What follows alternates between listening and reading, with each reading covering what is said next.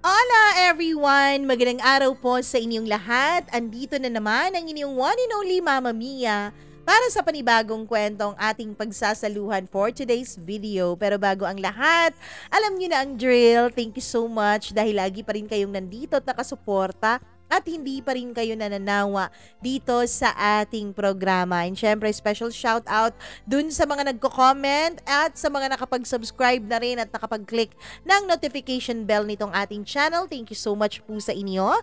Hi kay Shumi9688, kay Christy Dimitrial, kay Petchi Tadlan, Hi din kay Emily, Maraming salamat Nene Palmares, Dayan GH, thank you so much Atel Alejo.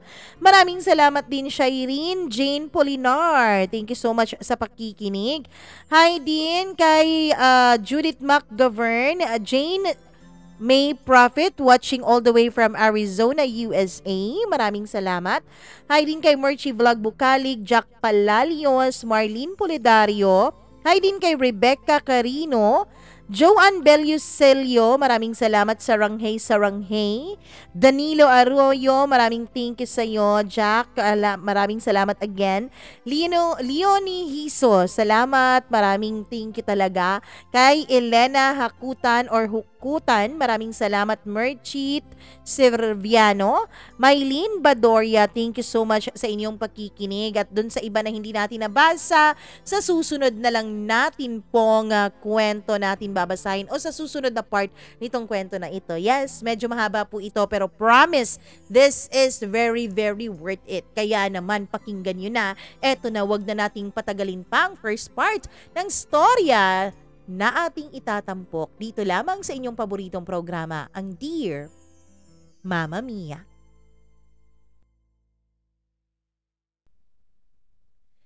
Minsan, hindi natin nalalaman ang plano ng Panginoon kung bakit tayo nasasaktan. Minsan nabubulag tayo sa sobrang sakit na ating nararamdaman without even knowing na yun pala ay paraan ng Diyos para tayo ay dalhin dun sa mga bagay na nararapat sa atin. Dear Mama Mia, Magandang magandang araw po sa inyong lahat, lalong-lalo na sa iyo Mama Mia. Maraming salamat kung kahit man mahabang mahaba itong kwento ko, ay mapipili niyo pa rin itong i-ere sa inyong programa. Itago niyo na lamang ako sa pangalang Jane. Ang first encounter po naming dalawa ay nangyari taong 2015 pa. Pero huli na po or nitong lately lang or during pandemic, nung nag-sink in sa akin kung bakit nga ba hinayaan ng Diyos na masaktan na ko noon ng lubos. Yes, Mama Mia, simulan natin ang kwento ko. Ilang buwan matapos akong mag self-pity dahil nga sobra akong nasaktan. Mama Mia, sobra pong sakit ang naramdaman ko noon kaya ilang buwan din akong nag-iisip kung ako ba ang may kasalanan kung bakit ako nasasaktan noon.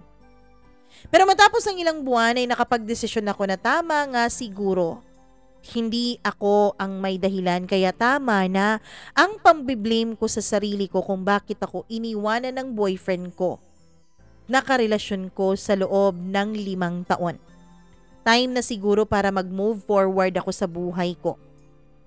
Mama Mia, nagpasama ako noon sa boyfriend ng aking step-brother. Yes, boyfriend po. A gay. Love wins sila. Mabuti pa sila. Ang sabi ko sa kanya noon ay mag-beach getaway kami for a week. Member kasi sila sa isang exclusive resort, Mama Mia, kaya magpapasama ako para makapasok. Nung mga time na yon ay unti-unti na pong nagiging okay ang puso ko. Kaya lang Mama Mia, kung kailan medyo okay ka na, ay meron namang mga pagsubok na darating at hahadlang sa yung road to moving forward. Ito pong boyfriend ng stepbrother ko ay isa pong florist tapos makeup artist. Sikat na sikat po siya sa lugar namin Mama Mia dahil napakagaling po niya. Sa sobrang galing niya, siya po ang gustong kunin ng girlfriend ng ex ko para maging florist at makeup artist sa darating nilang kasal. Nung malaman kong ikakasal na sila, dun na naman nag-umpisa ang pagsi-self-pity ko mama Mia. Nagre-re-evaluate na naman ako noon sa sarili ko kung bakit nga ba ako iniwanan. At bakit matapos akong iwan ay parang napakadali lang sa kanya na palitan ako at pakasalan agad-agad yung babaeng yun. I mean, ano ba talagang diferensya sa akin? Mama Mia, professional naman ako. Tapos ako sa pag-aaral at pasado din ako sa board sa pinag-aralan ko. And then that time, I was on my second course. I am bound to carry a double major. Meron pa akong thriving business na inaasikaso na negosyo po ng mga magulang ko. Tinutulungan ko po silang i-manage yon. Hindi rin naman ako ikakahiya yung itsura ko. Mama Mia, matino naman po akong babae. I mean, lahat naman tayo ay magaganda at gwapo lalo pat likha tayo ng Panginoon. Pero ako, maganda din naman ako Mama Mia. Flat-chested, yes. Pero I mean, I maintain my body. Kaya ano pang kulang? Siguro sa family background ko. Malalaman niyo po kung ano ang sinasabi ko as my time, as my story progresses. Mama Mia, mula nga nung malaman kong ikakasal sila, ay nalugmok na naman nako. Nung malaman ng kuya ko ang plano ng mga ikakasal, ay galit na galit po siya. Sabi niya Mama Mia ay parang nananadya daw, which is tama naman. Ayaw din namang pumayag ng kuya ko at ng boyfriend niya na siya ang kuning florist at makeup artist. Pero nung malaman ng parents ko ang situation, dahil nga pinipilit at pinapakiusapan ng pamilya ng side ng girl ang mama ko. My mama founded an NGO for less fortunate women who wants to provide for their family. Nagsimula yun sa community namin noon hanggang sa naging province-wide Mama Mia dahil bukod sa marami siyang natutulungan ay marami din talagang gustong tumulong. Unfortunately, yung tita po ng pakakasalan ng ex ko ay isa po sa mga community leader na nakikipag-coordinate kay mama. Kaya nakakuha at nakakita sila ng opportunity para i-persuade ang mama ko para kumbinsihin ang boyfriend ng stepbrother ko na pumayag. A little background lang po of my family. Yung bi- biological father ko po ay patay na. Inambush po. Outgoing mayor ang papa ko that time. Paong at, kaya at first Mama Mia ay medyo vague pa talaga sa amin yung motive kung bakit sila inambush.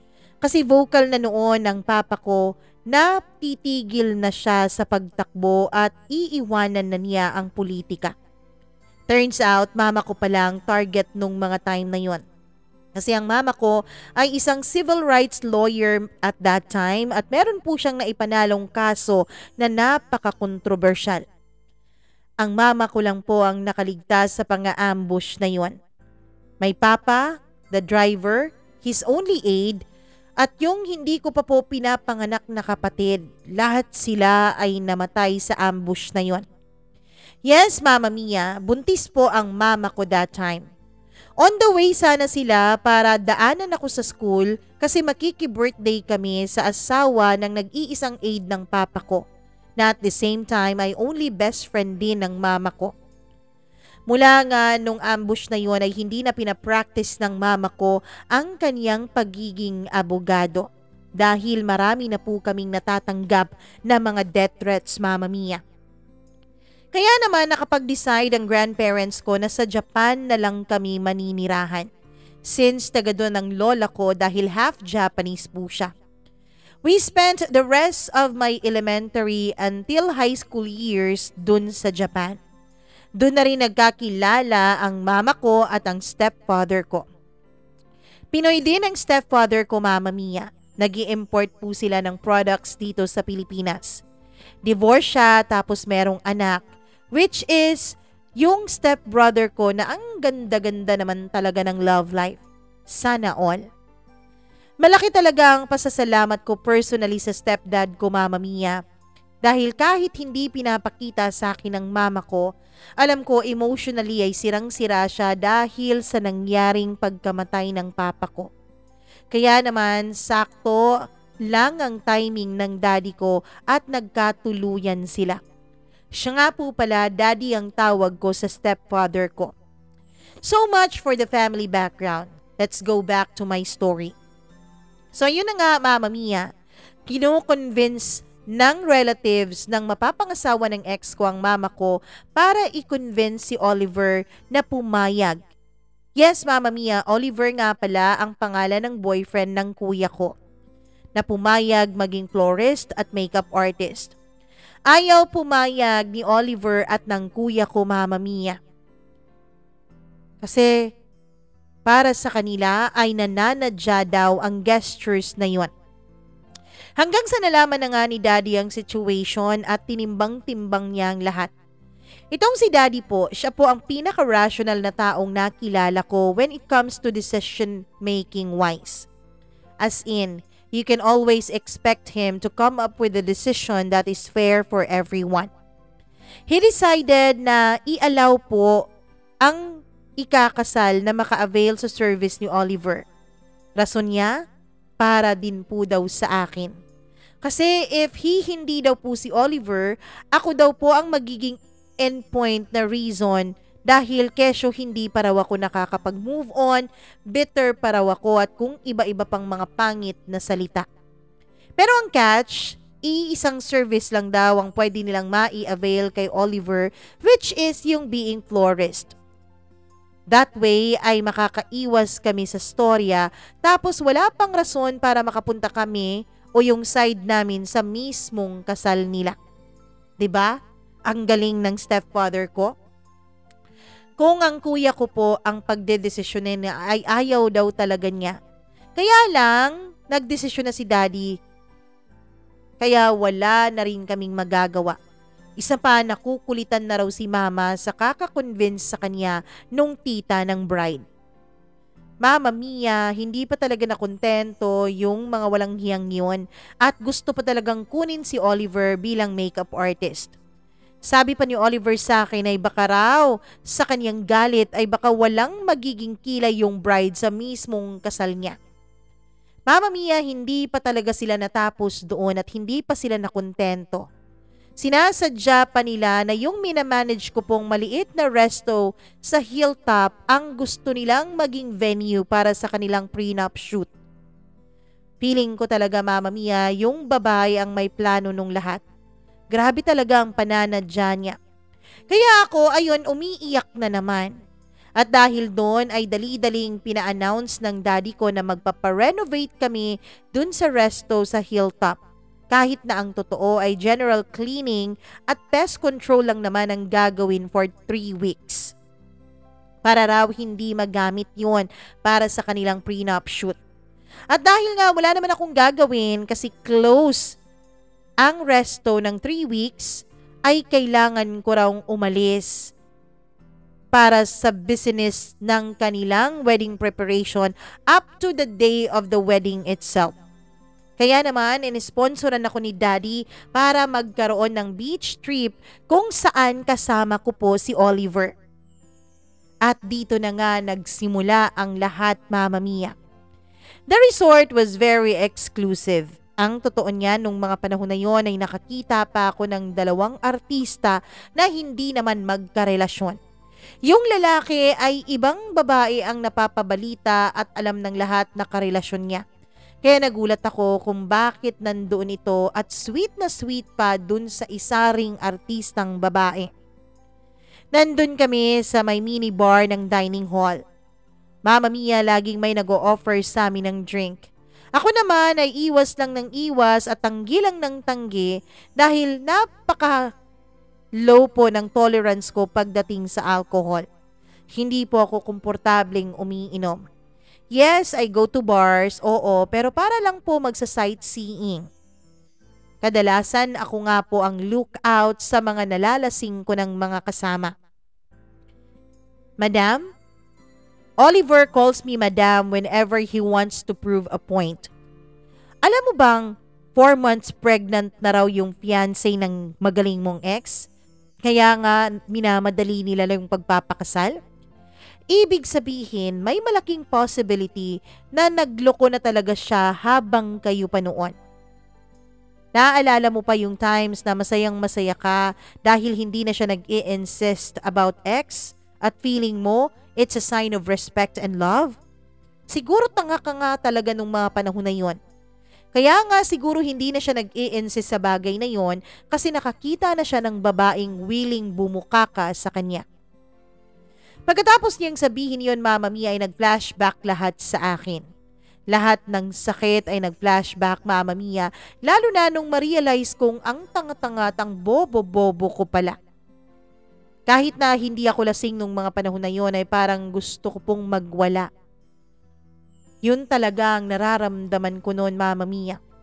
Sabi pa niya, For once, try to let go of your ideals. Tapos, pwede ba? Huwag mo namang magsyadong strictuhan yung reservations mo. Look around and then look at yourself too. Yan ang sinasabi ni Oliver.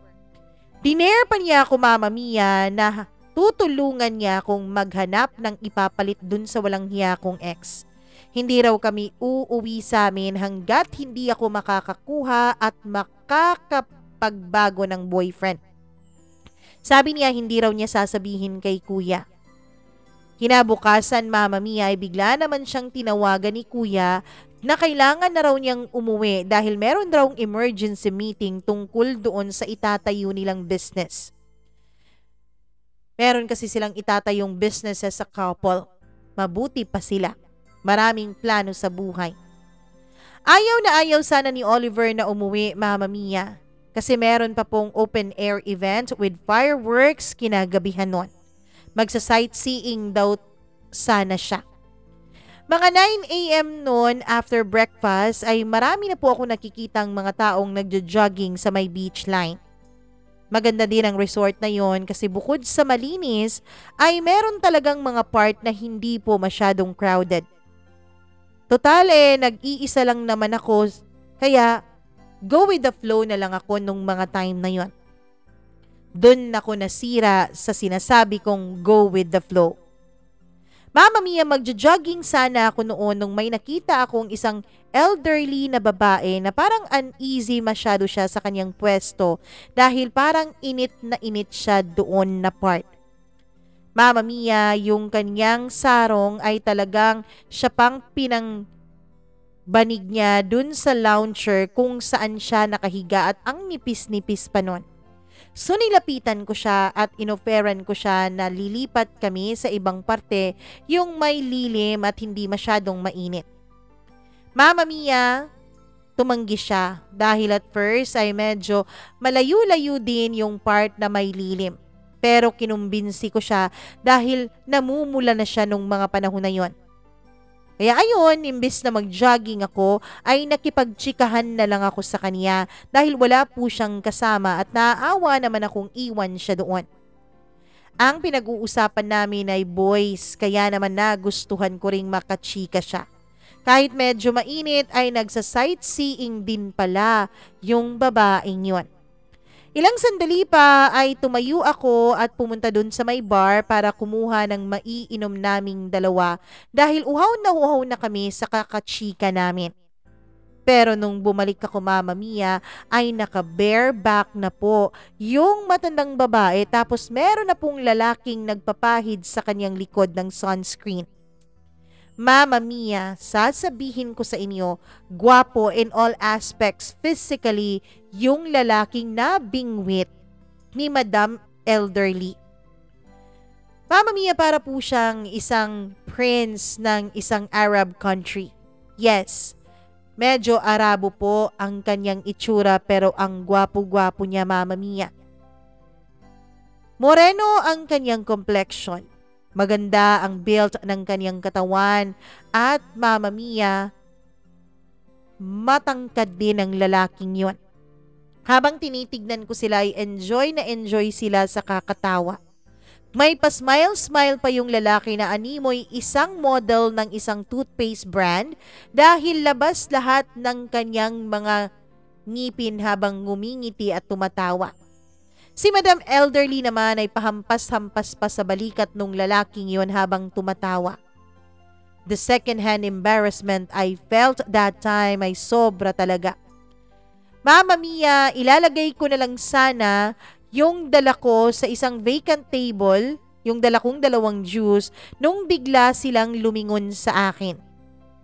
Dali-dali akong humanap ng attendant ng hotel at nung makakita ako ay inutusan ko siyang ibigay yung dalawang juice sa kanila. Tapos ako ay bumalik na sa room ko at wala na akong ibang ginawa the whole morning. Lumabas ako kinahapunan kasi nga nagugutom na ako at wala pa akong kain after breakfast. Naalala ko Mama Mia na may ginawang reservation si Oliver para sa dinner namin by the coastline so dun ako sa restaurant na yun pumunta. Pero 5pm pa po mag-uumpisa ang dinner time. Pwede ka namang makaupo lalo na kung may reservation ka pero wala pang dinner na maisiserve. Kaya ayon, nagtiis na lamang ako sa clubhouse sandwich at kape na in-order ko. Inaliw-aliw ko na lang ang sarili ko sa trabaho dahil dala ko nung mga panahon ng laptop ko, Mama Mia. Pero, nag, pang, naging pangit ang mood ko nung makita ko ang email ng ex ko para sa request nilang mag-prenup dun sa hilltop. Dun pa talaga sa hilltop? Bakit dun? Alam naman niyang ako ang nagmamanage dun. While galit ako ay pilit kong binubura yung mga emails niya Mama Mia.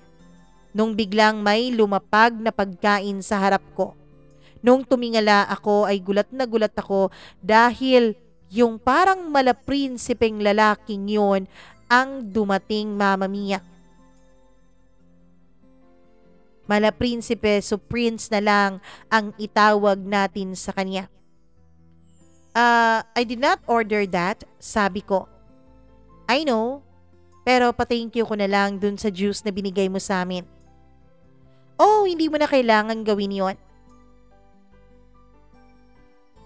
Mama Mia, akala ko talaga noon ay hindi siya nakakaintindi ng Tagalog kaya inulit ko. You don't need to do that, sabi ko. If I know, magkano kaya ang binayad sa kanya para sa pagpahid dun sa lotion sa likod ng babaeng yon?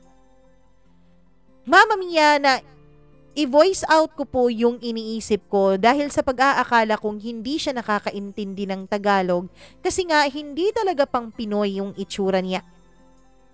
Miss, napakabait ng pagde-describe ni Ma'am Gina sa'yo. Tapos ikaw, ganun pala ang ugali mo?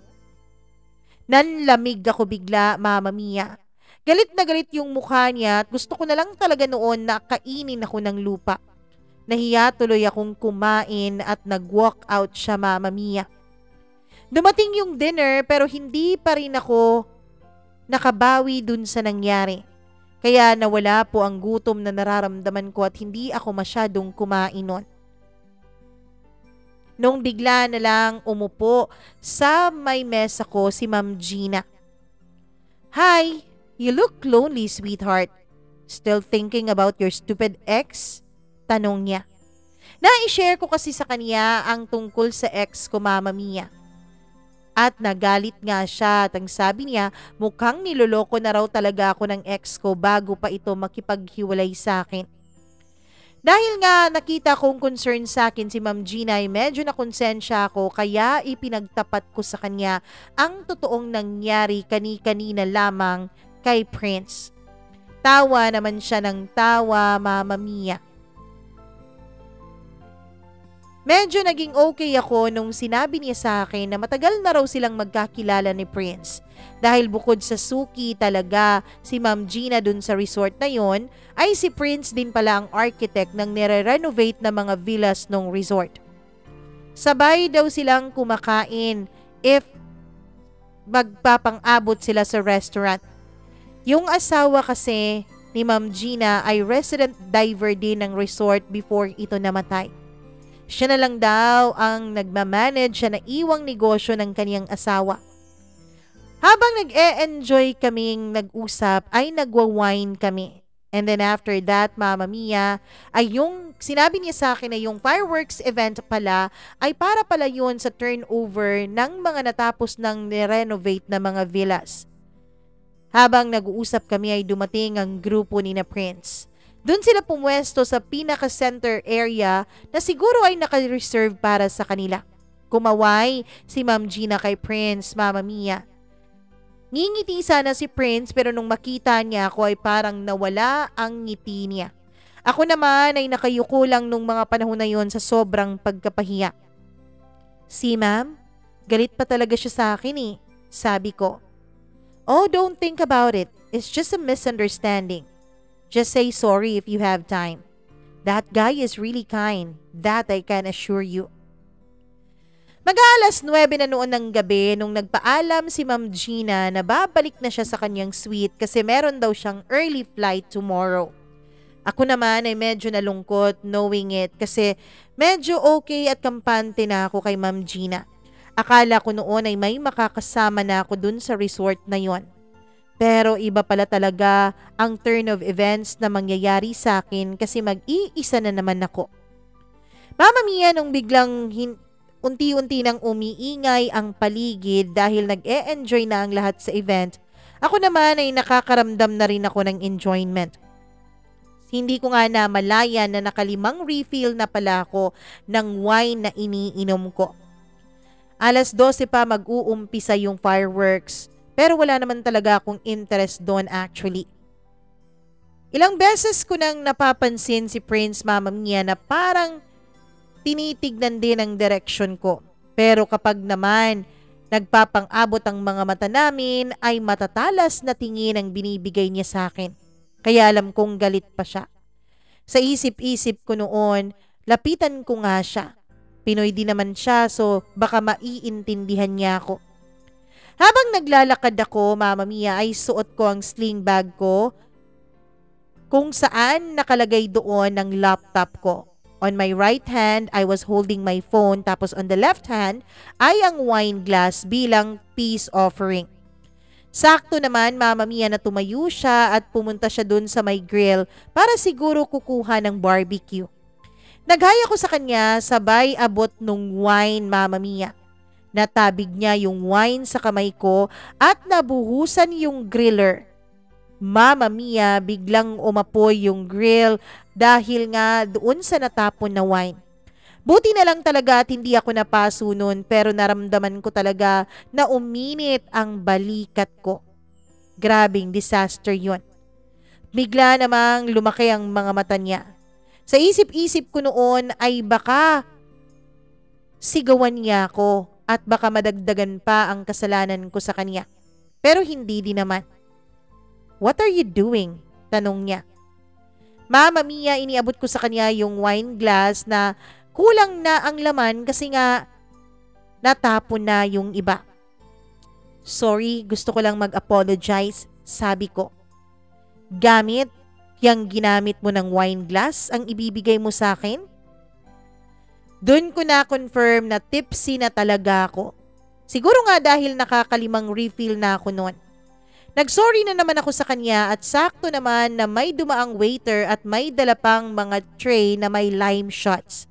Nilagay ko doon ang wine glass Mama Mia at hihingi sana ako ng isang shot. Kaso lang Mama Mia, ay nasagi naman ng waiter yung arm ko na malapit sa may apoy. Doon ay naramdaman ko na ang sobrang hapti. Nataranta yung waiter pati na rin si Prince dahil Pumangit yung mukha ko dahil sa hapding nararamdaman ko habang himas-himas ko yung kamay ko.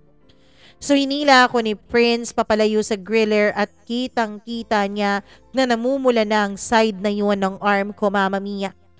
Wala siyang sali-salita nung mga time na yon. Tapos, mabilis siyang naglakad habang hila-hila niya ako sa aking kabilang kamay. Malalaki ang kanyang mga yapak mama Mia. Ako naman ay nagmamadali noon pero pinipigilan kong umangat ang dress ko dahil habang naglalakad kami ay medyo mahangin yon. At yung dress ko pa naman, Mama Mia, ay medyo flowy. Tapos nakatong bikini lang ako as a panty. Natatakot ako noon na baka masilipan ako. Pwede ba wag mong masyadong bilisan ng paglalakad? Baka masilipan ako eh. Umaangat kasi yung hem ng dress ko. Wala pa naman akong suot na panty. Bigla niya akong nabitawan at almost talaga akong nangudngud sa may buhanginan, Mama Mia. What? Bakit hindi ka nagpapanty? May panty naman ako pero hindi ordinary panty, okay? Tong bikini. Panty na parang hindi. My God, sino bang babaeng nasa matinong isipin ang magsusuot ng ganon? Excuse me, maraming nagsusuot nito, no? Bakit saan ba tayo pupunta? Tanong ko. Gagamutin natin yung paso mo. Punta tayo dun sa villa ko dahil meron akong burnt ointment doon. Mama Mia, deep inside ay talagang namangha ako. Wow, naka-villa pa talaga siya while ako ay nagtitiis dun sa suite. Mama Mia, naisip ko na napaka judgmental ko pala nung pinag-isipan ko siyang magte-take advantage siya dun kay Ma'am Gina. Okay lang, wag na. May kasalanan pa naman ako sa'yo, sabi ko. I insist, ano na lang iisipin ni Ma'am Gina kung pababayaan kita. Hinila na naman niya ako papunta sa villa niya pero this time ay dahan-dahan na po ang paglalakad namin. Lagi niyang tinitignan ang dress ko pagkatapos ay para bang naghihis yan ng mga panahon na yon. Next time, you wear proper panty, okay? Walang tao sa may guardhouse ng villa. Nagdududa ako nung mga panahon na yon kung sa kanya ba talaga yon. Sure ka bang sa'yo to? Parang hindi occupied eh. Tapos wala pang naka-duty na guard. Mama Mia, yung dalawang kamay ko noon ay nasa may bewang ko na habang nagsasalita at feeling na feeling talaga ako nung mga panahon na yon. Nilingon lang niya ako with mockery on his face while siding a key card sa gate. And then Viola, nagbukas yon Mama Mia at napahiya na naman ako. Medyo napansin niya na parang naninigas ako sa may entrance kaya hinila na naman niya ako papasok habang nagsasalita siya. You and your judgments talaga. Walang guard kasi usually pinapauwi ko talaga ng maaga yon, especially ngayon na may event. Alangan naman ako'y nag-e-enjoy tapos siya andito lamang at nakikinig. Habang enjoy na enjoy ang lahat at nag-iingay. Maganda ang kanyang villa. Spacious, Pang big families talaga. Napahiya yung sweet na pinagsistayhan ko. Nahiya na naman ako ulit sa pagiging judgmental ko, Mama Mia. Sa sobrang hiya ko ay doon na lang ako sa receiving area kung saan malapit sa kanyang garden. nag insist siya na papasukin ako pero talagang tumanggi ako, Mama Mia. Dahil matagal na talaga akong hindi komportableng pumapasok sa ibang bahay. Lalo pa ngayon na hindi ko pa siya masyadong kakilala. Sinabihan ko na lang siya na kunin na lang niya ang gamot sa loob at dito na lang kami sa may labas maggamutan. Parang inutusan ko pa sa sisteng yon, Mama Mia. Kaya ayun pumasok siya. Habang pumapasok siya ay pinagmamasdan ko ang kanyang villa at spacious talaga ang place niya. Tapos meron pang mga magagandang lights na nakaka-relax. Paglabas niya ay bitbit na niya ang first aid kit. Nasa receiving area niya ay merong sofa doon na good for four persons ata. Isang single sofa at isang table na hanggang sa tuhod ko po ang height. Doon kami sa may malaking sofa pumwesto. Mama Mia, medyo tipsy na talaga ako nung time na yon dahil hindi ko na alam kung paano buksan yung alcohol niya. Kaya naman kinuha niya at siya ang nagbukas noon at nag-insist siya na siya na lang ang maglinis ng aking balikat at ng aking arm. Ako naman ay tawang-tawa na nung mga time na yon kasi medyo tipsy na nga ako. Mama Mia, nung nabuksan na nga niya ang alkohol ay nilinisan na niya yung arm ko kung saan dun nababad sa grill habang ako ay nakaharap sa kanya. Mama Mia, nung nakaharap na ako sa kanya ay hindi ko po maiwasang tumingin sa pagitan ng mga hita niya. Mama Mia, markang-marka kasi sa suot niyang pants ang kanyang pagkalalaki. Virgin ako pero hindi naman po ako inosente. I make out with my ex and sa totoo lang, nahawakan ko na nga yung sa ex ko Mama Mia. So meron na akong comparison kung malaki ba o hindi. And judging dun sa nakikita ko sa labas pa lang mismo ng pants niya, pakiramdam ko ay gifted talaga siya Mama Mia. Habang busy siya sa pagpapahid ng alcohol sa arm ko, ako naman ay busy-busy sa pagtingin ng kanyang hinaharap. Medyo tipsy na nga siguro talaga ako nung time na yon dahil medyo bulgar na bulgar na akong magsalita. Curious na curious na ako and out of nowhere ay nagtanong ako bigla sa kanya. Is that your hard on? While nakatingin pa rin sa kanyang hinaharap. What the hell? Bigla siyang tumayo pero umupo din naman ulit. Nagtatanong lang naman tapos tawa ako ng tawa. Pwede ba? Itigil mo na nga yan? O ikaw nang magpahid ng ointment dyan sa arms mo? Kinuha ko yung ointment pero hindi naman din ako marunong magbukas kaya binalik ko yun sa kanya at siya na ang gumawa nun para sa akin. Mama Mia, habang ginagawa niya yon ay may nakita po siyang peklat sa akin pong wrist. Meron po akong peklat noon dahil sa sobrang napaka-clumsy ko po. I was cooking with my ex that time tapos nung mga panahon na yon ay nagbabalat ako ng cantaloupe at nasagi ko po yon kaya naman nagkasugat. Are you cutting your wrist? Tanong niya na medyo Stress na stress na ang kanyang muka. Hindi no. Dahil lang yan sa pagiging clumsy ko. Kaya ayun, nasali ko sa pagbabalat ng cantaloupe. Nakahinga siya ng maluwag, Mama Mia, at sabi niya, be careful next time dahil fatal daw ang body part na yon. Naramdaman ko yung concern niya. Mabuti pa siya. Kasi nung time with my ex, nung nasugat ako, ay nagalit pa siya. Ang sabi niya napaka-clumsy ko raw. Medyo naging emotional ako noon sa concern na naririnig ko sa boses ni Prince Mama Mia. And na-touch din ako at syempre tipsy din ako. Hindi ko na namalaya ng ginawa ko at pumatong na ako bigla sa kanya at hinalikan ko siya. Nagulat siya sandali, Mama Mia, pero ginalingan ko talaga sa pagpe-perform hanggang sa gumanti na rin siya ng mga halik sa akin at nag-perform na rin siya ng todo. Grabe na, pakagaling po niyang humalik. Walang-wala yung ex ko Mama Mia. At habang naghahalikan kami ay kung saan-saan na umaabot ang kanyang mga kamay.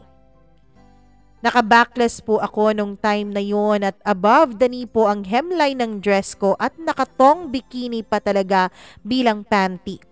So napakadali lang para sa kaniyang lahat. Nagiinit na ako nung mga panahon na yon and at the same time ay nakainom ako kaya siguro mas nadagdagan ng init at excitement na nararamdaman ko. The next thing I know, Mama Mia ay napamura na ako dahil napasukan na niya ako.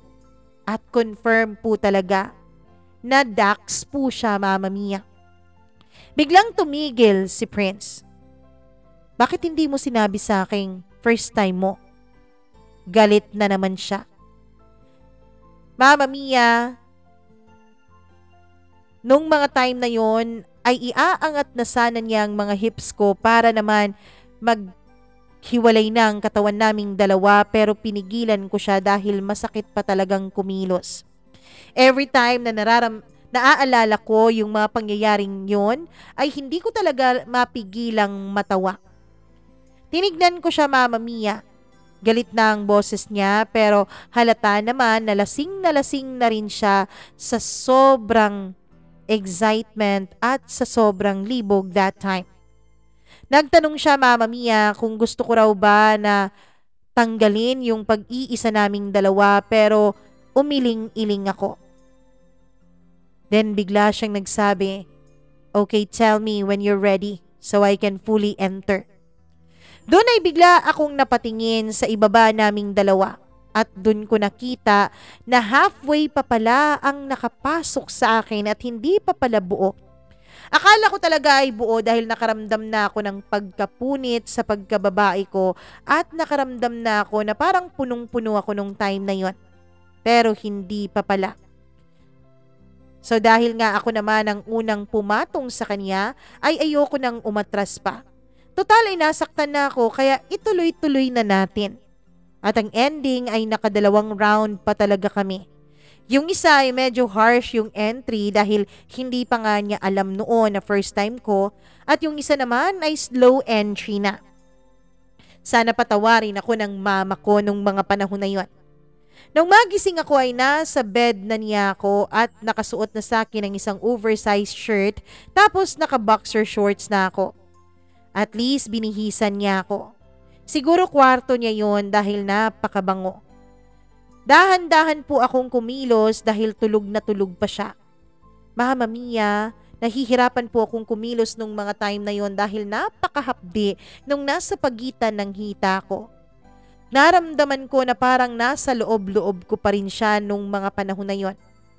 Parang naiiyak na ako habang naglalakad ng dahan-dahan.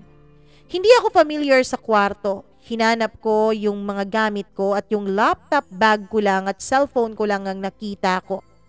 May nakita akong isang pintuan and I assumed na yun ang CR kaya pumasok ako kahit na hinang-hina ako at halos hindi makagalaw. Nung buksan ko yon ay nakakita ako ng maliit na walk-in closet before the CR Mama Mia ay nakita ko yung dress ko na nakatupi sa ibabaw ng dryer mabango at bagong laba. At least sa ganong mga small gestures niya, Mama Mia, ay parang nawala-wala kahit konti yung sakit na nararamdaman ko. Gentleman din pala si Prince. Bumalik lang lahat ng sakit nung umupo na ako sa inidoro at umihi na Mama Mia. Paulit-ulit tuloy akong napamura nung mga panahon na yon sa sobrang hapdi na nararamdaman ko. Hindi ko na napigilan ng sarili ko at napaiyak na talaga ako ng todo. Siguro masyadong malakas ang pag-iyak ko dahil nagising si Prince. Pagpasok niya sa loob ng CR ay nagtanong siya kung anong nangyari. Tapos sinagot ko siya na napakasakit habang umiiyak. Nataranta naman siya mama Mia and he touched my forehead. Siguro chine-check niya kung nilalagnat ba ako. Buti na lang at wala. Pagkatapos noon ay pinuno niya ang bathtub niya at dahan-dahan niya akong inalalayan para mailipat dun sa loob ng bathtub. At dahil nga Mama Mia, hindi ko po magawang maihakbang ang mga paa ko, ay kanya akong binuhat. Please remove your clothes para ma-relax ka, sabi niya.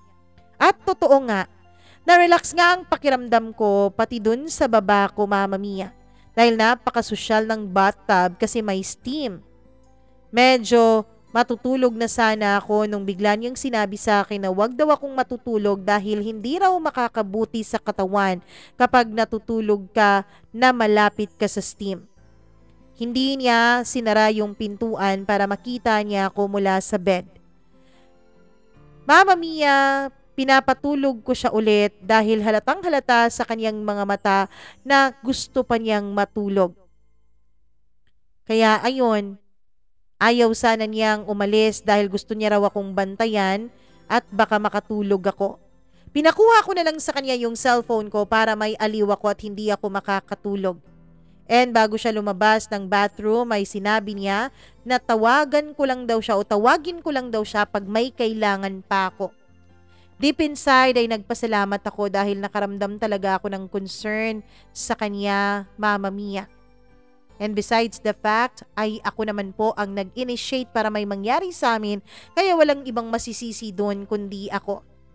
Pagbukas ko ng cellphone ko ay si Oliver po ang tumatawag at napakarami na niyang miss call. So ayun, video call ko siya at doon nga maling-mali ang desisyon ko na yon. Hindi pa siya tapos na mag hindi pa kami tapos na magkumustahan Mama Mia nung niratatatnan niya ako sa kanyang mga napansin. Hoy, nasan ka? Lumipat ka ba ng room? Bakit iba yung itsura ng CR? Madam, bakit may male body wash dyan sa likod mo? Hoy, kanino yan? Sunod-sunod niyang tanong. And as if on cue, Mama Mia, ay bigla namang dumating si Prince sa loob ng bathroom.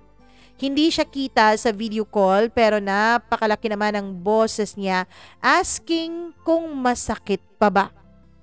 Mama Mia, hindi ko na napaprocess noon kung sino ang una kong sasagutin. Kung si Oliver ba o si Prince. Basta naging high pitch agad ang tinig ni Oliver nung marinig niya ang boses ni Prince. Madam, anong masakit? My love, yung kapatid mo nasa CR ng isang lalaki. Hala ka madam. Hindi pa niya tapos ang sasabihin niya nung bigla kung pinatay yung tawag at pinatay yung cellphone. Na-stress ako sandali, mama mia. At medyo nadagdagan pa yon dahil nga naramdaman kong concern na concern si Prince sa akin. Nung nakita niyang stress ako ay lumabas na lang siya. Masakit pa rin mama Mia pero nakapag-decide na akong magbibihis na dahil tawag na ng tawag ang kuya ko all thanks to Oliver. Pinatay ko na ang cellphone ko pagkatapos ay nagbihis. Matagal-tagal din ako nakapagbihis dahil medyo nahihirapan pa rin talaga ako mama Mia, lalo na das dun sa tong na panty ko. Mahapdi talaga. Paglabas ko ay tulog na tulog si Prince. Dali-dali akong lumalabas or lumabas while careful talaga na wag gumawa ng kahit na anong ingay dahil nakakaramdam na ako ng hiya nung mga panahon na yon. Paglabas ko sa kwarto ay hindi ko pa alam kung saan ba ang pintuan palabas sa villa na yon. Ang dami-dami kasing sliding door. Nung nakita ko ang isang sliding door na nandun sa familiar na sofa kung saan kami nagniig ni Prince kagabi ay lumabas ako. Pero paglabas ko mama Mia ay nakita ko pang nakakalat ang mga ginamit na mga alcohol strips at yung ointment at pagkatapos mama Mia ay nakita, nakakita pa ako ng mga wet wipes doon na may dugo. Sure ako mama Mia na hindi yun dahil sa arms ko. Dahil nang nag-flashback lahat sa aking memory ay Nung pinull out na ni Prince yung sa kanya mula sa akin ay may halo po yung dugo. Kaya nilinisan niya po gamit yung wet wipes. Tumayo ang mga balahibo ko habang iniisip ko yon at the same time ay nakonsensya ako dahil hindi man lang ako nagpaalam at iniwanan ko siyang tulog. Naglinis muna ako ng konti at kinuha ko yung mga wet wipes mama Mia at sinilid ko dun sa may pocket ng laptop bag Lalabas na sana ako dun sa gated na villa nung biglang may pumasok na tao sa loob na may daladalang preskong mga isda. Na good morning siya sa akin, Mama Mia. At pakiramdam ko ay parang sanay na sanay siya dun sa place na yon. Nagpakilala siya sa akin na siya pala yung guard sa villa ni Prince. Hina, hinatiran niya si Prince ng fresh na mga isda. Tinanong niya ako kung ano raw ang gusto kong luto pero hindi na ako sumagot pa mama Mia dahil hindi ko alam kung ano ang isasagot ko sa kanya.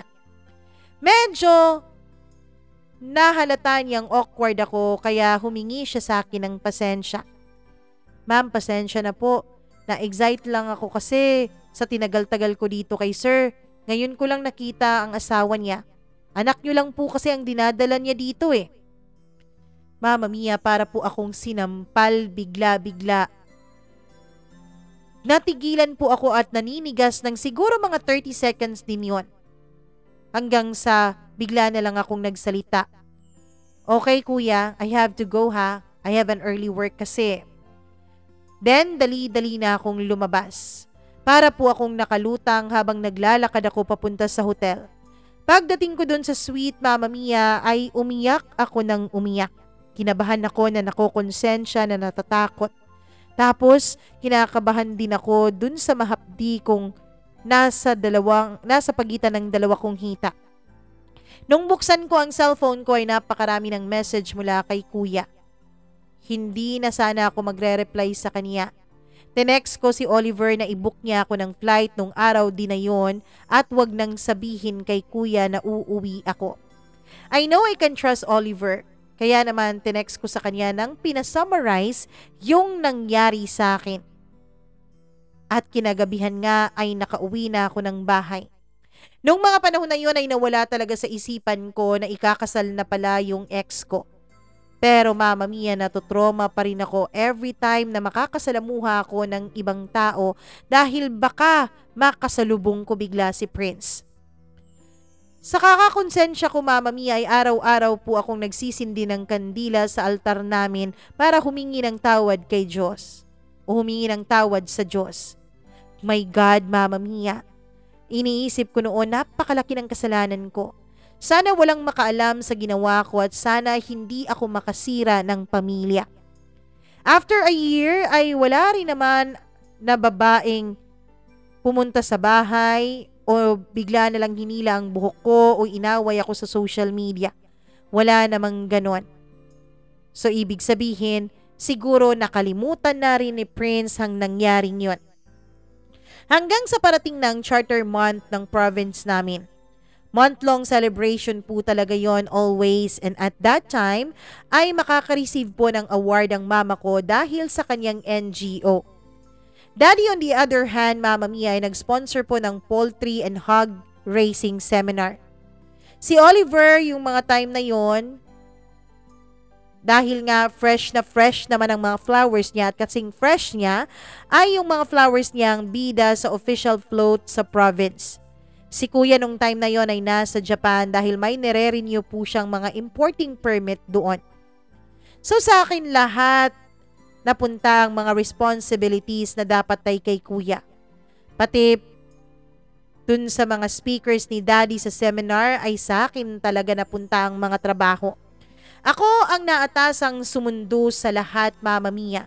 Pero may isang speaker na feel ko ay malaking pressure yun kay daddy na i-please yung taong yun kasi parang pinaspecial talaga yun. Siya mismo ang gustong mag-asikaso dun sa taong yon at sa bahay pa talaga namin patutulugin. Pinasama pa ni daddy yung anak nito. Nasiyahan naman ako nung malaman na kukunin ni daddy yung isang bisita para less aasikasuhin para sa akin. Plano pa talaga niyang magpa-tarpaulin para i-welcome yon tapos kumuha pa ng temporary yaya para sa anak nito. Sa curiosity ko mama Mia ay nagtanong ako sa mama ko kung sino yung special guest ni daddy. Hindi kasi mabilis mataranta ang daddy ko sa mga bisita. Kaya ayon pinakita ng mama ko ang profile sa FB nung magiging bisita ni daddy. And charan mama Mia, yun ay walang iba kundi si Prince. Kasama niya ang anak niya sa kanyang FB profile. Nasa Disneyland sila sa profile na yon. Nasa opisina kami noon ni Mama sa bahay at kasama ko noon si Oliver. Mama Mia, nung mga panahon na yon ay talagang nauunang mag-function ang aking bibig kesa sa aking utak. Kaya nasabi ko na lang out of nowhere na, bakit siya? About agriculture ang seminar ni Daddy, architect yan na. At bakit alam mong architect si Sir? Tanong ni Oliver. Kilala mo siya? Tanong ko pabalik sa kanya. Siyempre, taga sa amin yan siya, no? Doon nga kami kumukuha ng kuya mo ng kambing sa farm niya. Teka, bakit alam mong architect si Sir? Tanong niya ulit. Buti na lang at nag-function na ang utak ko nung time na yon before ang bibig ko. While hawak-hawak ng mama ko ang pad niya ay tinuro ko ang profile ni Prince. Nasa profile niya oh.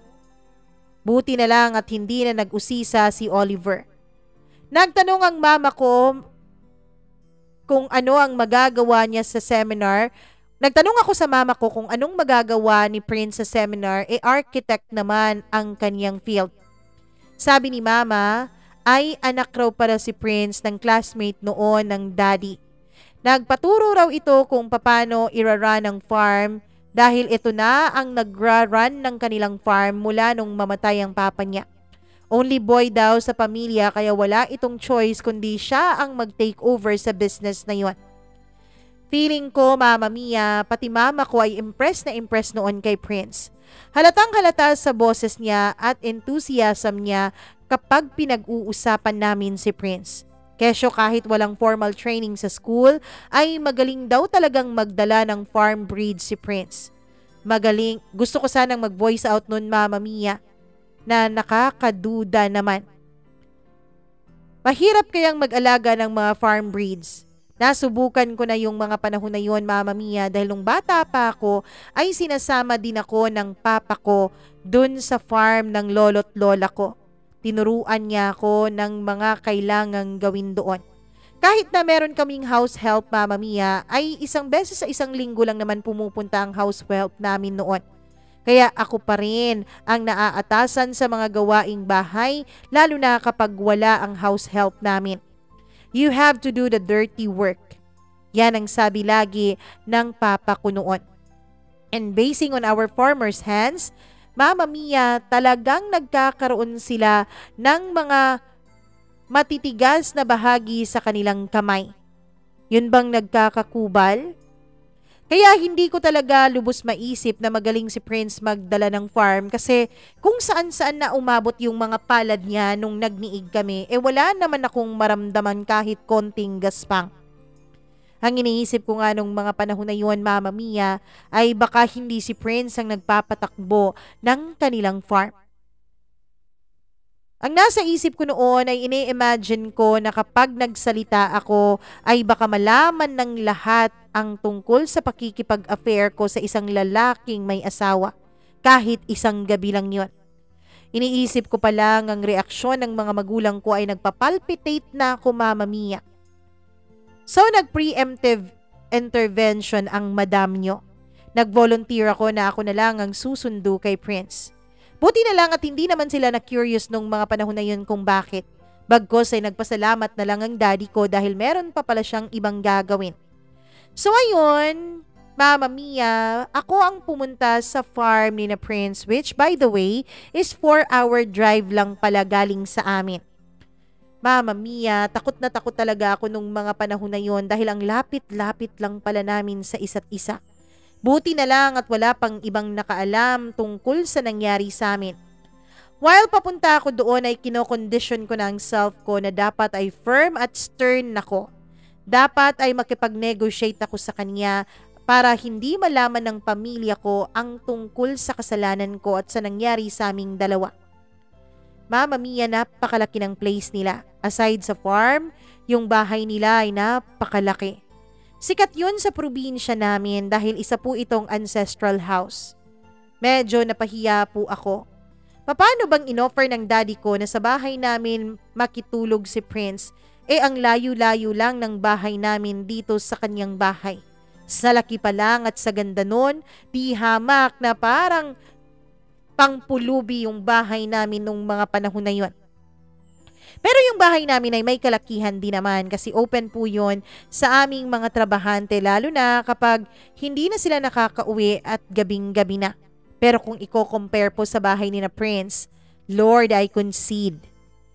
Pagdating ko, Mama Mia, ay merong agad sumalubong sa akin at sinamahan ako papunta sa receiving area nila. Pinalis ko muna yung driver para masolo ko si Prince dahil natatakot ako na baka pati siya ay makaalam tungkol sa nangyari sa amin. Para po siyang aparisyon na naglalakad papunta sa akin kung saan ako nakaupo. Napakagwapong aparisyon at napakagwapong temptasyon. Mas gumawa po ata siya Mama Mia dahil mas nagka-muscle siya o di kaya'y baka mahigpit lang talaga ang suot niyang polo noong mga panahon na yon. Naka-white polo siya, Mama Mia, at kitang-kita ko na naman yung kanyang harapan. Naka-cream colored pants siya nung time na yon at lalo pang na-emphasize yung harapan niya. Nagulat siya, Mama Mia, sa paglapit niya sa akin. Hindi niya siguro akalain kung sino ako. Grabe talaga nung mga panahon na yon at titig na titig siya sa akin hanggang sa hindi na niya napigilan at tinanong na niya ako. Correct me if I'm wrong, pero ikaw ba si Jane dun sa resort? Tanong niya. Mama Mia, gusto ko sanang sabihin na yes, ako yon. Ako yung kinalikot mo doon sa villa mo. Pero syempre, medyo nakonsensya ako dahil halos isang taon na rin mula nung nangyari ang sa aming dalawa. Mama Mia, Ang totoo niyan ay palagi ko pa rin naiisip yung nangyari sa amin. Hindi po ako magpapaipokrita, but yeah, lagi ko po yung naiisip dahil first time ko po yun at talaga namang na-enjoy ko yun kahit ang kapalit noon ay ang hapding nararamdaman ko. Tapos halos hindi na niya ako ma-recognize. Kaya naman, I said, pinasusundo siya sa akin ng daddy ko. Ah, you mean, anak ka pala ni uncle? Yes, stepdaughter, sabi ko. Mama Mia, matagal na naka natagal bago nakapagsalita si Prince. Ang sabi niya ay alam raw ba ng daddy ko ang tungkol sa nangyari sa aming dalawa pero sabi ko hindi. And I told him na dapat walang ibang makaalam. I told him my concerns about my parents' expectations of me and how I don't want to fail them even if I already did. Titig na titig lang siya sa akin habang nakikinig sa mga sinasabi ko. Nagpatuloy ako sa pagsasalita at sinabi ko yung tungkol sa guard. I told him na I am so sorry for his wife and his child. I told him I have no intention of ruining a family. Pero dun ako nagkamali big time. Mama Mia, partly ay sinisi ko pa siya kung bakit hindi niya sinabi sa akin na may pamilya na siya.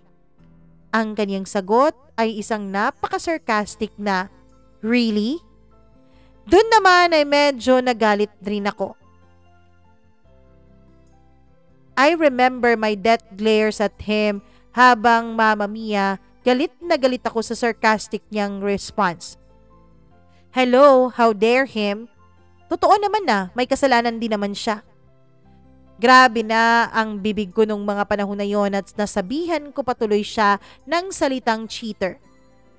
Really? Do you think if I have a partner, I will waste my time on you? Siguradong sigurado na ako ngayon na ikaw talaga yon kasi napaka-judgmental mo pa rin. Mama Mia, napaka-prangka din niyang magsalita. Sa tingin mo kung may asawa ako, papansinin kita nun?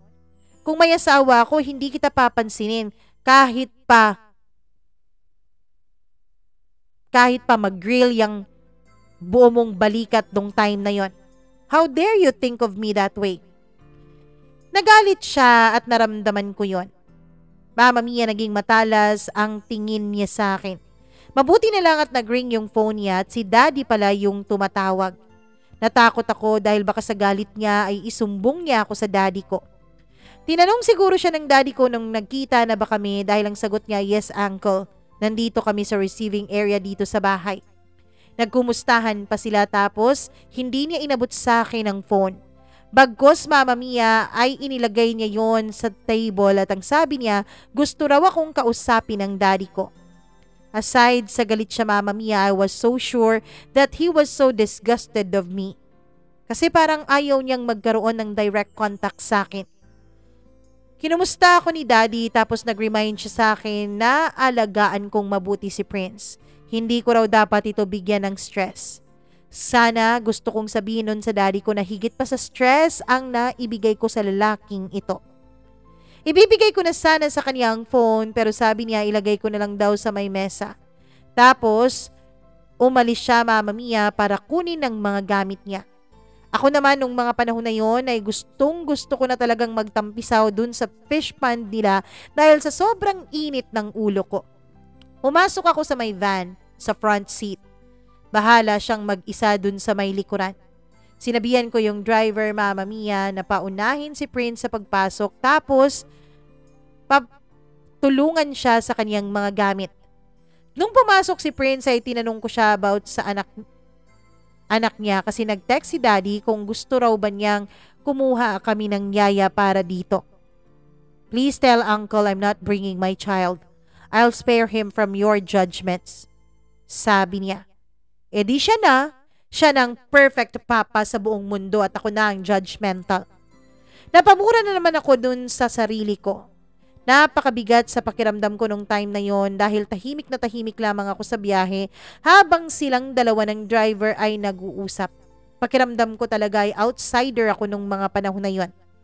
Pagdating namin sa bahay ay welcome siya ng parents ko. Ako naman ay nagpaalam na papasok na sa kwarto ko dahil may gagawin pa. Pero ang totoo wala naman akong gagawin. Ayoko lang talagang nakikita ang pagmumukha niya. Ayoko sanang bumaba para sa dinner pero mama Mia, pinuntahan ako ni mama ko dahil pinatatawag daw ako ni daddy. So wala tayong choice. Kapag si daddy na ang nagsalita, dapat sinusunod mo. Sumalo ako sa kanila sa dinner pero para lang po akong audience nung mga panahon na yon habang sila ay tuwang-tuwa nakausap si Prince. Tahimik lang talaga ako.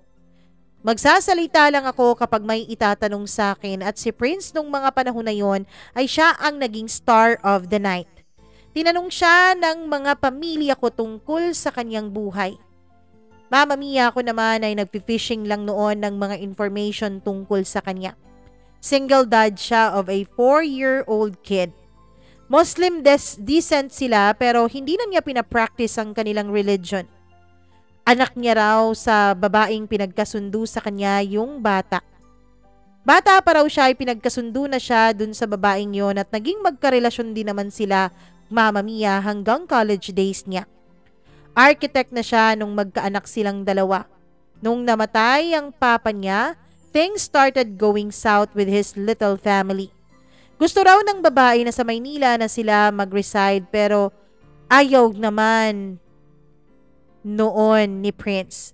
Ayaw daw ng babae ng provincial life, Mama Mia. Kaya Prince has to juggle running the farm left by his father tapos dadagdagan pa ng problema niya dun sa mama ng anak niya na hindi man lang binibisita ang kanilang anak. Kailangan pa raw personally niyang ihahatid sa Maynila kapag namimiss ng bata yung mama niya. The girl actually suggested na maghiwalay na lang sila. Ang reason niya ay hindi pa raw siya ready sa mga responsibility. Mama Mia, sabi niya hindi niya raw nagustuhan ang rason na yon dahil hindi naman deserve ng bata na para bang i-treated ng half-heartedly ng kanyang sariling ama, ng kanyang sariling ina. I was impressed actually pero hindi ko na lang binoise out yung pagiging impressed ko sa kanya. Ang mamit da, ang mamat daddy ko naman ay very impressed sa kanya. Na-disappoint lang ako ng konti dahil hindi po ako pinagmalaki ng daddy ko sa harapan niya gagaya ng lagi niyang ginagawa kapag meron siyang mga bisita. Hanggang sa nagsabi na lang ako na pupunta na ako sa kwarto ko at matutulog na. Mama Mia, pinuntahan ako ni daddy ko doon dahil parang naramdaman niya yung pagka-disappoint ko. Sabi niya ayaw niya raw na magmukhang parang binibenta niya ako. Tama din naman. Hindi din naman nagtanong si Prince tungkol sa akin kaya hindi nila ako naging topic. I'm doing my best para hindi po nila mahalata. Total tapos na rin naman ang obligasyon kong sunduin si Prince. Hindi na ako nagsasalita masyado sa kanila dahil nakakaramdam pa rin ako na parang galit pa rin siya sa akin kaya ayon, umiiwas ako sa kanya. The three-day seminar win- went smoothly. Impressed ang lahat kay Prince. Ultimo, taga-Department of Agriculture sa probinsya namin ay in-invite siya ulit para maging speaker sa susunod nilang mga events. Well, aside from his skills, personally, I thought he is also very charming. Good looking, yes, given na yun. Pero mama mia, he can charm almost everybody. I remember my papa sa kanya.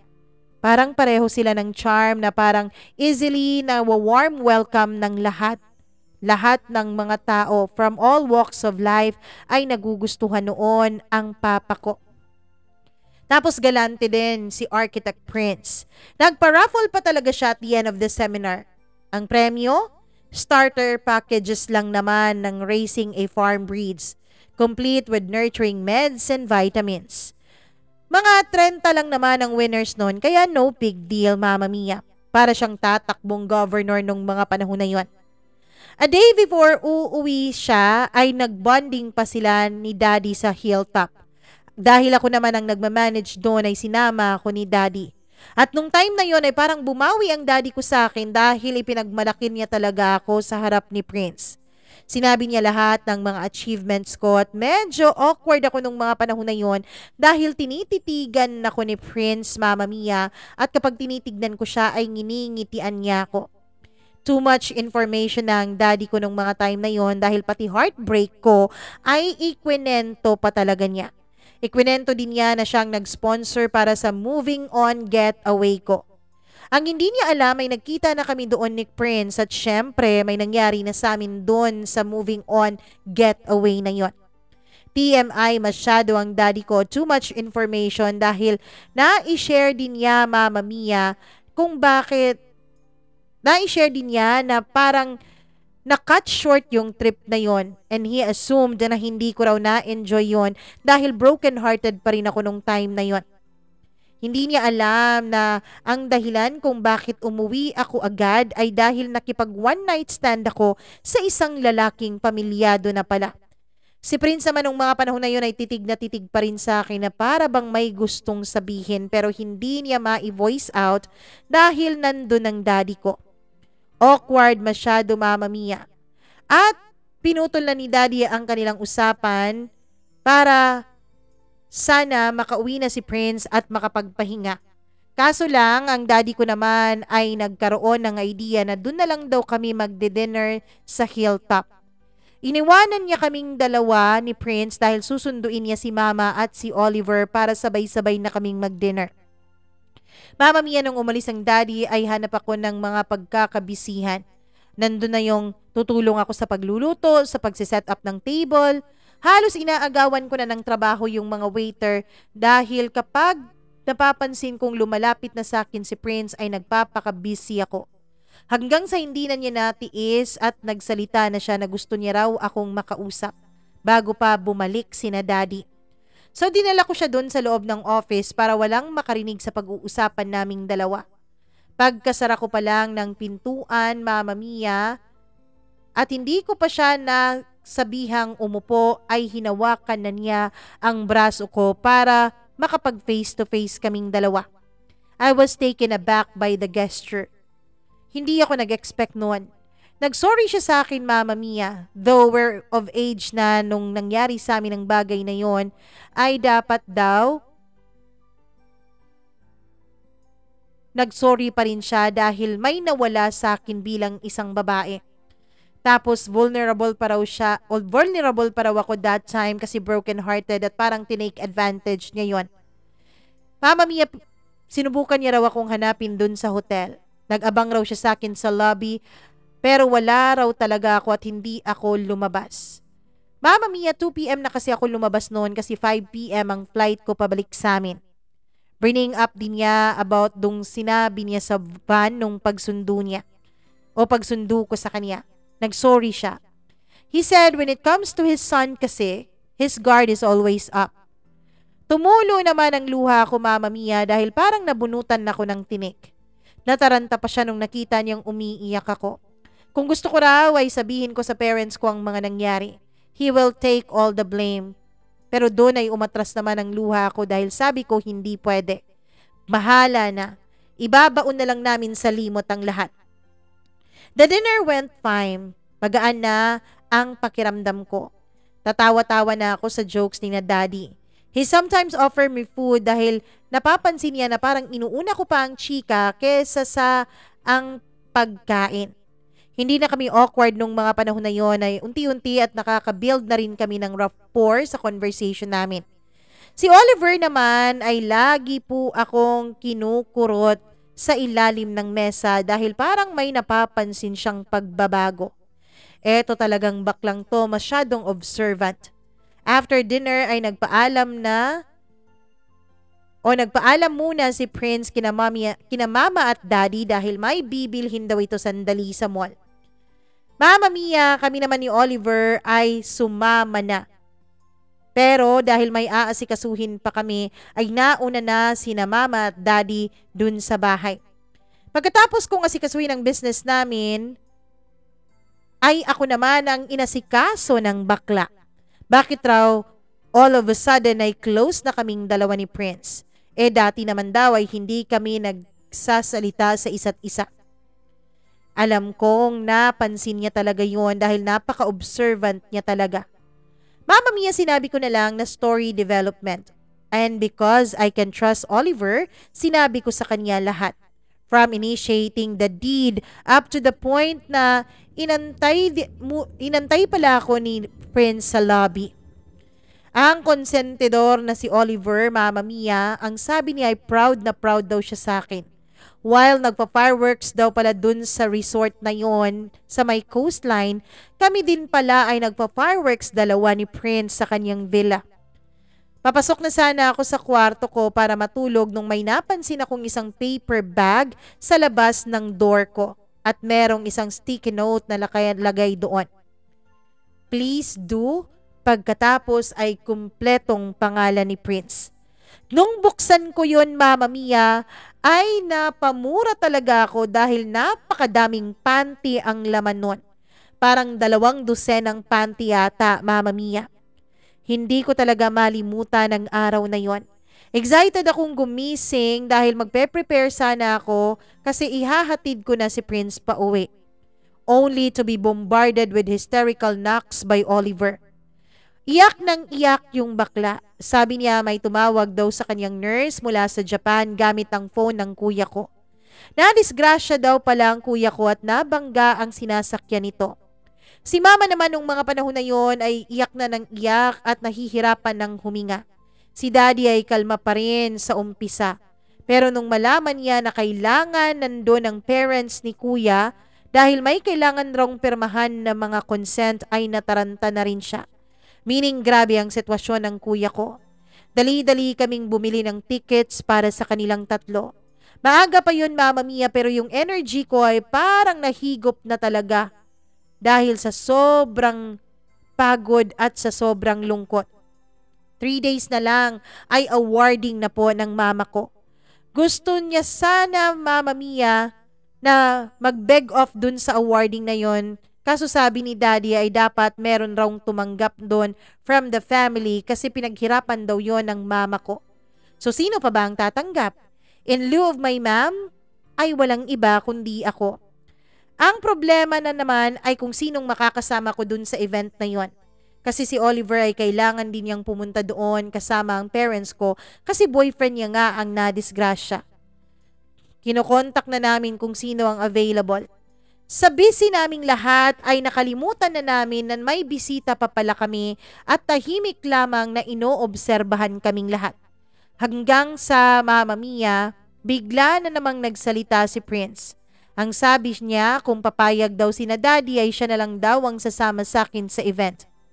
For the end time that morning ay natahimik na naman kaming lahat bigla. Pati yung iyak ni Oliver ay biglang naputol, Mama Mia, sabay sipa sa akin sa ilalim ng mesa. Ito talagang baklang to, nalungkot na't lahat pero hindi pa rin tapos sa kanyang pangangantsaw sa akin. Nung una, syempre ay tumanggi ako. Pero ang totoo ay gusto ko naman yon Mama Mia. Sabi ko ayos lang naman ako at kaya ko namang mag-isa. Yung mama ko ay nag-second demotion naman sa sinabi ko Baka raw makaistorbo pa kami kay Prince dahil 3 days pa bago ang awarding na yon. Sabi ni Mama, I can handle myself naman daw. Buti na lang si Daddy ay pumayag na magstay muna si Prince para raw may maka-assist sa akin. Plus, hindi din talaga papayag si Daddy pala na mag-isa lang ako sa event na yon kasi nandun din daw yung pamilya ng ex ko. One of the host ang wife niya, plus nandun din ang relatives sa side ng babae. Kasi yung tito niya ay tatakbong mayor sa nalalapit na eleksyon noon. Kaya kailangan ng visibility. Naaawa naman daw ang daddy ko kapag mag-isa lang ako doon. Baka ma-issue na naman daw ako. Mama Mia, na-issue kasi last year kasi nung kasal nila ay kung ano-ano pang pinopost nung babae sa Facebook niya. And because we're almost on the same circle, kaya people thought na ako talaga yung pinaparinggan niya dun sa kaniyang mga post. Gustong gusto kong yakapin ang daddy ko nung time na yon pero pinipigilan ko lamang dahil nandun ang mama ko. At feeling ko nung mga time na yon ay nagdududa na siya dahil sa kanyang tingin sa akin. Mas lalo pang grumabi ang pag-feel ko noon, Mama Mia, dahil parang hindi talaga pumapayag si Mama na samahan ako ni Prince. Baka raw may gagawin pa si Prince, baka makaistorbo kami. I know it's my mama's subtle way to voice out her objection. Pinadaan niya lang na kunwari ay concerned siya sa part ni Prince. Si architect naman o si Prince ay sabi naman niya ay no big deal daw. His errands can wait daw para may makasama ako dun sa event na yon. Ang totoo, Mama Mia, ay para na talagang leon na nagwa-wild sa loob ang aking puso. Pinipigilan ko lang talagang ngumiti, Mama Mia, dahil napapansin ko talaga na parang iba ang paningin sa akin ng mama ko. Nag-excuse na lang ako para pumasok sa kwarto ko para pakalmahin ang puso ko. Kinahapunan ay umalis si na mama papuntang Maynila para diretso ng Japan. Before sila umalis ay humingi pa ang mama ko ng number ni Prince. Doon ko na confirm mama Mia na nagdududa na talaga ang ina ko sa aming dalawa. Ako naman ay tinext ko talaga si Oliver at sinabi kong sana wag siyang madulas dun sa parents ko.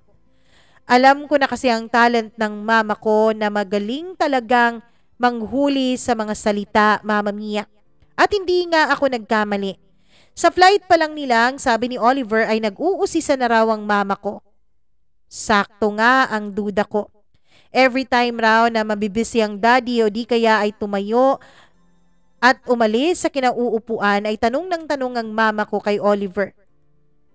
Mama Mia, nakita pala ng mama ko nung may iniwang paper bag si Oliver sa labas ng kwarto ko.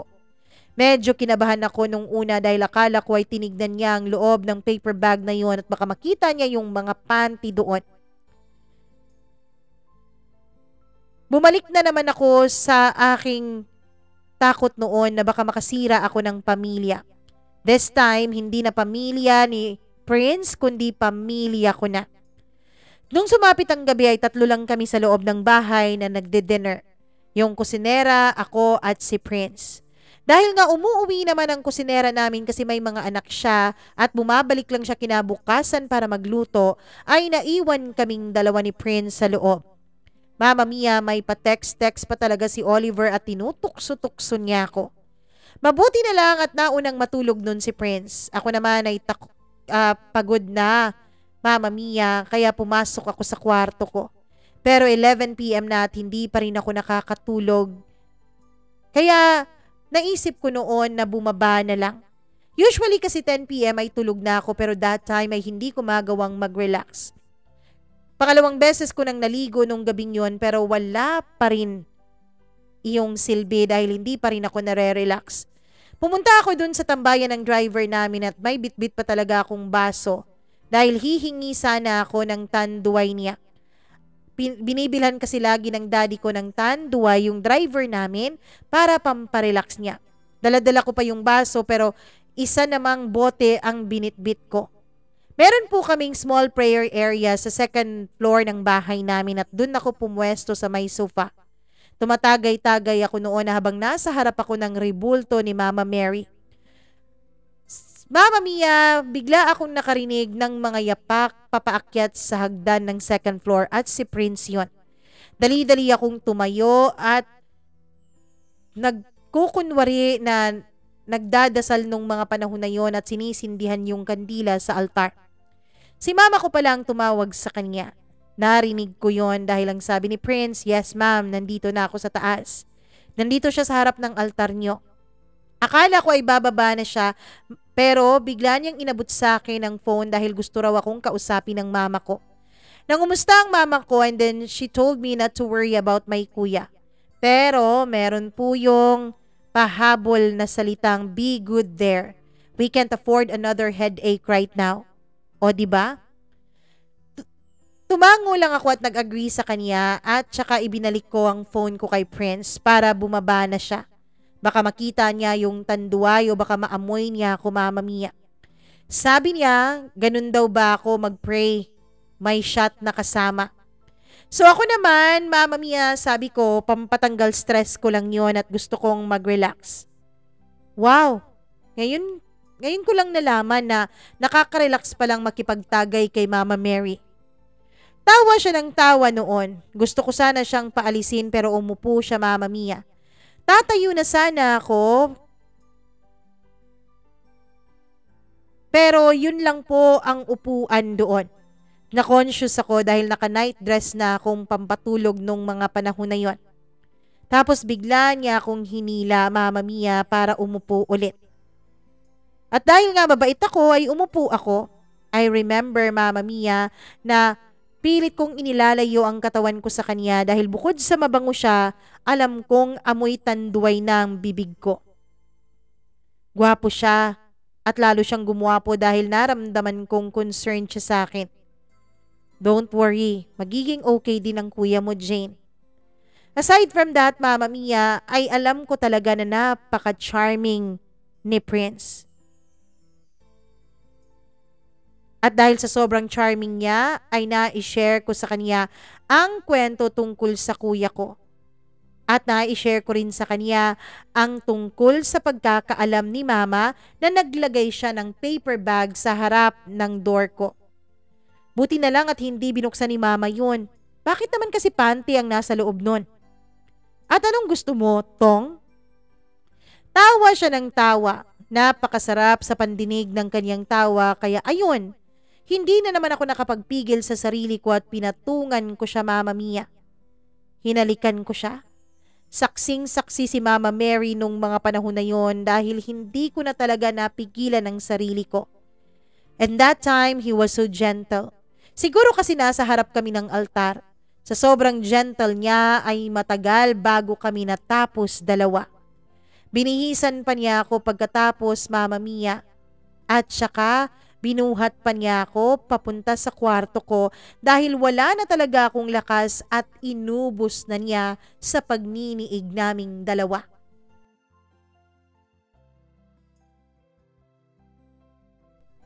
Grabe ang haba naman ng story ang to. Part 1 pa lang yun ha. Bukas ang part 2. bukas na po ang part 2. Abang-abang naman po kayo bukas. Syempre, maraming salamat kung umabot kayo sa part na ito ng ating kwento. Paki-share at paki-like na rin ng video na to. Paki-click ng notification bell at most especially, paki-click ng subscribe button. Maraming maraming salamat sa inyong pakikinig. Hanggang bukas po. Ako ang inyong nag-iisang Mama Mia. Magandang araw sa inyong lahat.